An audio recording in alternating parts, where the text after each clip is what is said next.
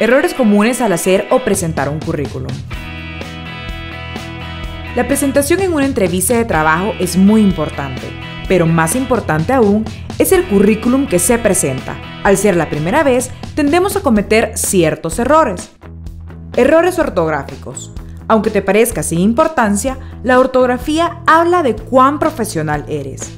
Un currículum con mala ortografía es como ir a una fiesta con tu ropa de gala sucia. Es decir, a primera vista todo se ve bonito, pero de cerca se ve muy mal. No extiendas tu currículum.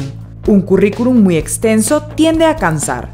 Que lleve lo más importante como tu experiencia profesional y tus datos académicos. Es mejor crear uno breve y conciso. Sé creativo que tu currículum hable por ti. No hay nada que llame más la atención que algo original. Ser creativo no es sinónimo de informalidad. Al contrario, da la impresión de ser una persona segura de sí misma, que impregna su personalidad hasta en su currículum. Limpieza. Al igual que la ortografía, la presentación física de tu currículum es muy importante. Es necesario que sea impreso en páginas limpias, dentro de un folder o aniado, como tú lo prefieras pero en las mejores condiciones.